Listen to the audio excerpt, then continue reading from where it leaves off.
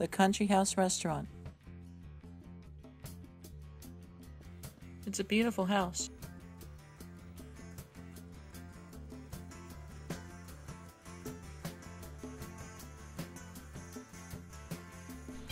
It's beeping. The curtains on the door started to move on their own. The Stony Brook Grist Mill.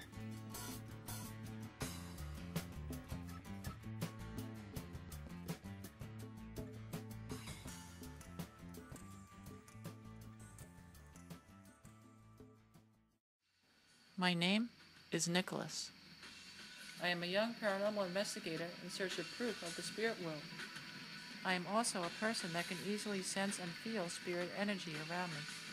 I am joined by my grandmother, Helen, my uncle and cameraman, William, and my father and executive producer, Nick.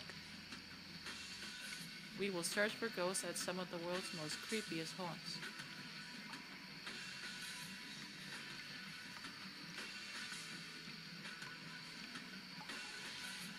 This is a haunted legacy.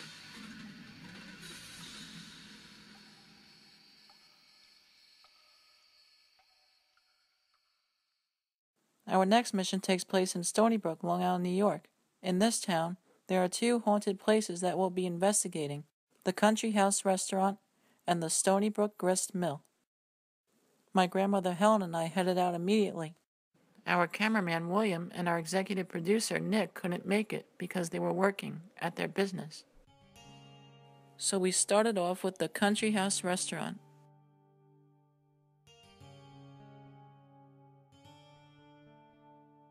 Constructed in 1710, the country house has three names, which are the 1710 House, the Hadaway House, and finally, in 1978, the Country House Restaurant.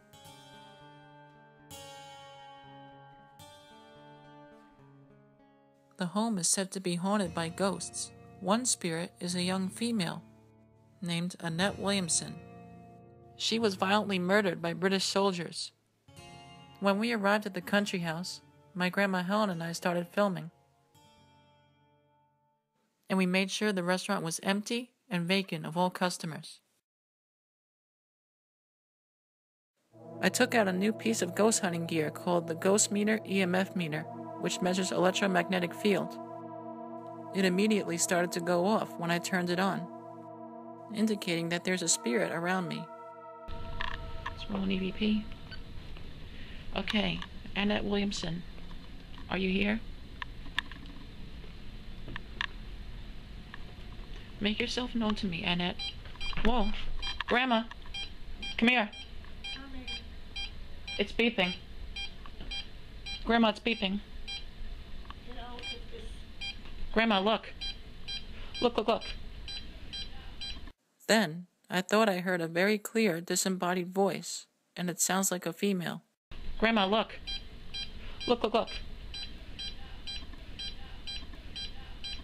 To me, the voice sounds like it's saying no.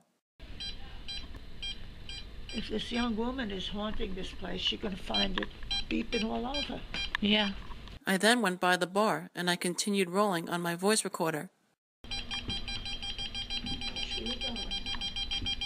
Anna, can you talk to me?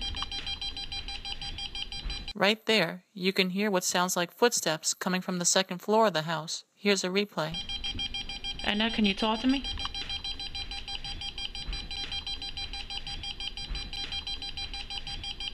All of this activity was intense. We interviewed the owner, Bob Willemstyn. While we were talking to him, we didn't know if he was camera shy, so we hid his identity. We have more than one. We have four spirits. Yeah, her name is like Annette Williamson, or Yeah. that's cool. Yeah, and um, wasn't she hung like from the second floor or something? I think. She was like, um, Yeah, I saw it on the website. You know. yeah, that's an urban legend I started like 35 years ago. I don't know, one day I made up this story about how she was hung down hanging. It became an urban legend Wait, where's the room? for You know. 30 years. The local townspeople um, violently murdered here because they thought she was a British spy. And, uh, And when it was still in the colonial days. pre- yeah, in the early settlement days, the early 1700s. We just found out from the owner that Annette Williamson was murdered in one room in particular. He pointed out the room to us. One of the waiters at the country house showed us a photo that he took on his phone. It appears to be an apparition up in the ceiling. Could this be the spirit of Annette Williamson?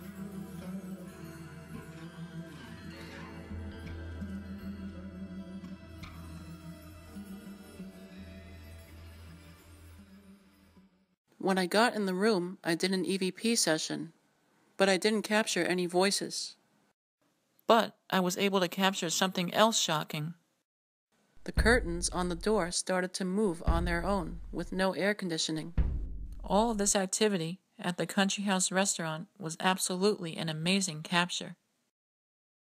I now took out a thermal imaging camera on my iPad mini to see if I can capture any spirits. Then I went by the curtains and did another EVP session.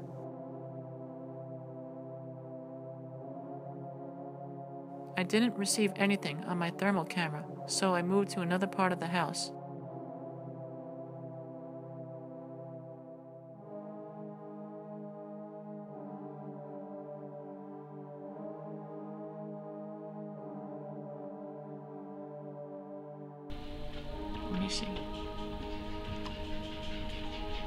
Don't see anything on thermal, but.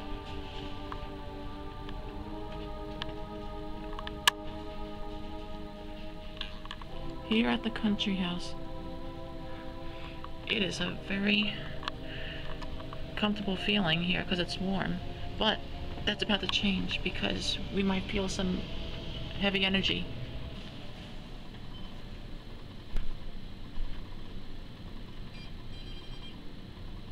Alright, now it's not spiking. I Annette, I know you're the only spirit here that I know. Like, can you tell me in this digital recorder who else is haunting here? Or do something. Oh, spider's going up. Is that you, Annette? Annette? I investigated the entire house, and I did one more EVP session of the building. But the entire time I was filming, I didn't receive anything. So we wrapped up our investigation at the Country House restaurant. So we just got a lot of evidence at this place, and that's very surprising. It's a beautiful house. It really is. You see those windows up there? That's where they capture a lot of cool photos. We're now heading to another haunted place in the town of Stony Brook. The Stony Brook Grist Mill.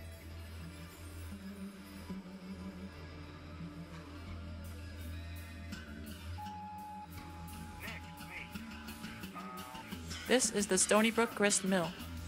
It was originally built in 1699, but in the 1700s, this old mill, the original mill, was washed away. An entire flood came in. Then 300 years later, in 1999, they built this new one here. It is now time for me to go investigate this historic mill. I went behind the mill. I rolled on my voice recorder for several minutes. But the whole time I was rolling, I didn't capture any voices. So I went by the river. There have been claims of hearing screams from behind the mill, but most of the time they're heard by the river.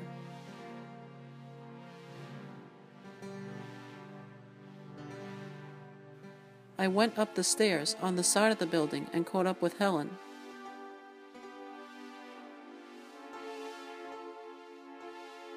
The ghost meter wasn't going off either. Then we concluded our investigation at the Stony Brook Grist Mill.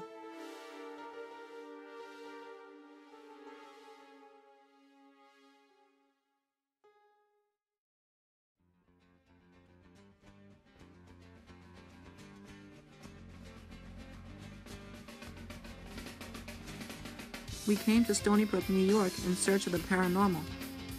But even though William and Nick couldn't make it with us to this mission, Helen and I were able to capture some compelling evidence at the Country House restaurant, for example. like a female disembodied voice, footsteps coming from the second floor, even some curtains moving. After the investigation, we showed William and Nick the evidence that we captured, and they were absolutely amazed. And our conclusion to the Stony Brook Grist Mill is are the spirits haunting the new mill that was built to replace the old one? Or the river behind it?